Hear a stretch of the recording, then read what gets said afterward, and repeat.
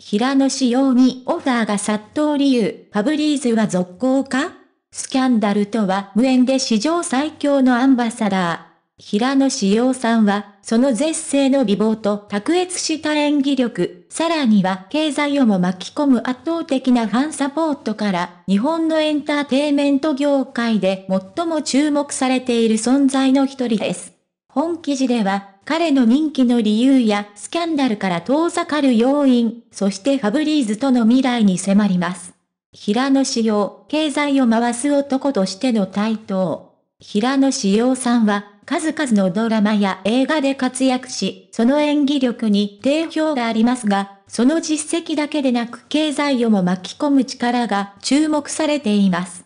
彼が着用した衣装やアクセサリーは即完売となり、高級ブランドのオンラインショップでは入荷通知を待つ人々が殺到するほどです。彼のファンからの支持だけでなく、購買層からも圧倒的な支持を受ける理由を探りましょう。ファンの支持と購買力、平野仕様の影響力。平野仕様さんのファンは若い世代だけでなく40代や50代にまで及ぶ幅広い世代から熱狂的な支持を受けています。タレントパワーランキングでも常に上位に位置し、SNS のフォロワー数も常に増加し続けています。そのファンたちの購買力が高いため、彼が起用された商品やブランドは売上好調であり、企業からのオファーが絶えないのも納得です。ブランドアンバサダーとしての平野仕様。平野仕様さんはルイ・ヴィトンの全身コーディネートを余裕で着こなし、ブランドアンバサダーとしての存在感を示しました。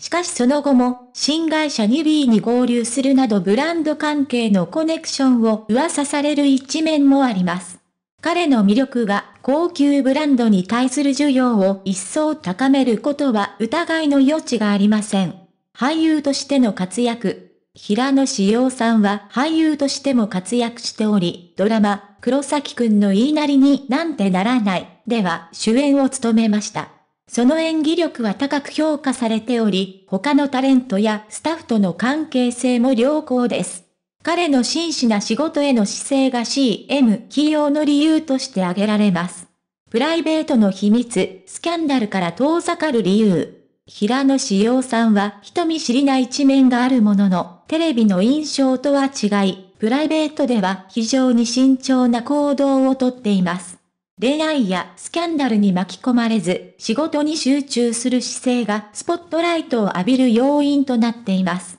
未来への展望。ファブリーズとの関係と地なる一手。現在、平野志陽さんはファブリーズの広告キャンペーンで顔を見ることができますが、ファブリーズとの関係はどのように進展するのでしょうか？彼の地なる一手や将来の展望についても考察します。平野志陽さんは、その経済をも巻き込む影響力やファンの熱狂的な支持によって、日本のエンターテイメント業界で特別な存在として君臨しています。スキャンダルから遠ざかり、真摯な姿勢で仕事に打ち込む彼は、ブランドのアンバサダーとしても非常に魅力的です。ファブリーズとの関係も注目される一方、彼の今後の活躍や未来に対する期待も高まっています。平野志陽さんのキャリアのさらなる飛躍に